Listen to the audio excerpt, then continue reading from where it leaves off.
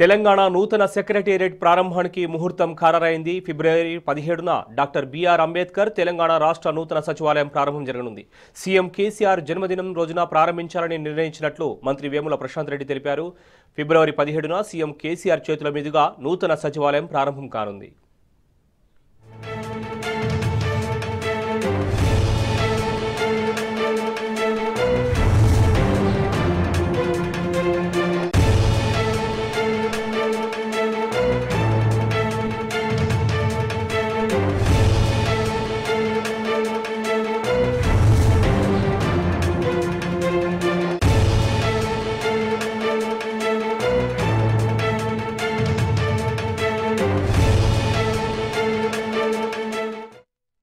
తెలంగాణ నూతన సెక్రటేరియట్ ప్రారంభానికి ముహూర్తం ఖరారైంది. ఫిబ్రవరి పదిహేడున డాక్టర్ బిఆర్ అంబేద్కర్ తెలంగాణ రాష్ట్ర నూతన సచివాలయ ప్రారంభం జరగనుంది.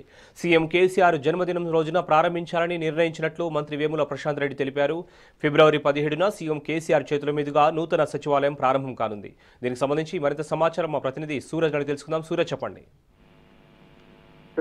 కొత్తగా ప్రభుత్వం ప్రతిష్టాత్మకంగా నిర్మించిన సమీకృత సచివాలయ ప్రారంభోత్సవ తేదీ ఖరారైంది. ముఖ్యమంత్రి కేసీఆర్ జన్మదినమైన ఫిబ్రవరి పదిహేడవ తేదీన ఈ సమీకృత కొత్త సచివాలయాన్ని ఆయన చేతుల మీదుగానే ప్రారంభించాలని చెప్పేసి కూడా ప్రభుత్వం నిర్ణయించడం జరిగింది.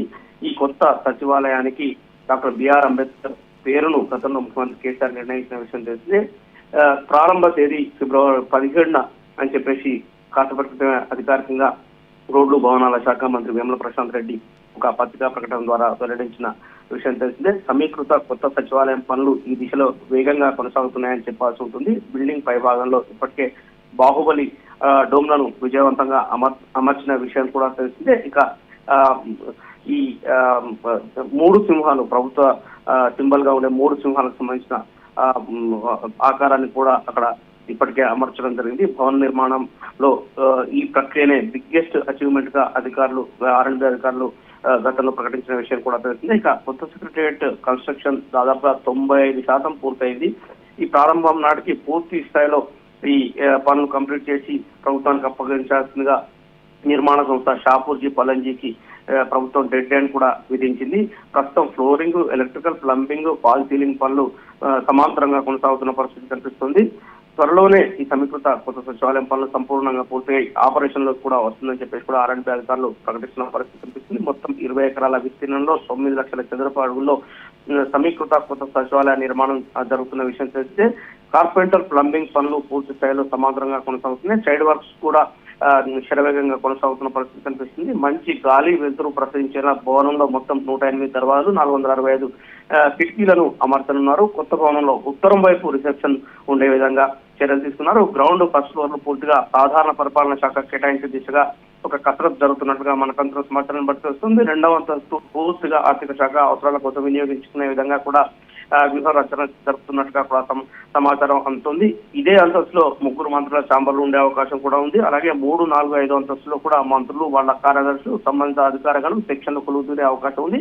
ఆరవ అంతస్తు పూర్తిగా ముఖ్య ముఖ్యమంత్రి కోసం వినియోగించాలని ఒక నిర్ణయం జరిగినట్టుగా తెలుస్తుంది. భవనం నైరుతి భాగంలో ముఖ్యమంత్రి ఛాంబర్ ఉండబోతుంది. ఇదే అంతస్తులో సీఎంఓ అధికారులు ఇతర సిబ్బందిని అకామిడేట్ చేస్తారు. ఇక్కడే విశాలమైన మీటింగ్ హాల్స్ మంత్రివర్గ సమావేశాల నిర్వహణ కోసం సౌండ్ ప్రూఫ్తో కూడిన కూడిన ఒక పెద్ద హాల్ను కూడా ఆ, నిర్మిస్తున్నారు. సమీకృత సచివాలయ భవనం నాలుగు వైపులా కూడా ప్రవేశ ప్రవేశ ద్వారాలు ఉంటాయి. తూర్పు వైపు నుంచి ముఖ్యమంత్రి ఇతర మంత్రులు ప్రాంగణంలోకి ప్రవేశిస్తారు. బిల్డింగ్ వెనుక భాగంలో ముఖ్యమంత్రి మినిస్టర్ల వాహనాల పార్కింగ్ ఉంటుంది. దక్షిణ భాగంలో ఉన్న గేట్ నుంచి అధికారులు ఇతర ఉద్యోగులు ఎంటర్ అవుతారు. అక్కడే వాళ్ళ పార్కింగ్ సౌకర్యం కూడా ఉంటుంది. ఇక ఇక ఉత్తర ద్వారంలో సందర్శకులకు యాక్సెస్ ఇవ్వబోతున్నారు. ఇక్కడే వాళ్ళ వాహనాల కోసం పార్కింగ్ ఏర్పాట్లు కూడా చేస్తున్న పరిస్థితి కనిపిస్తుంది.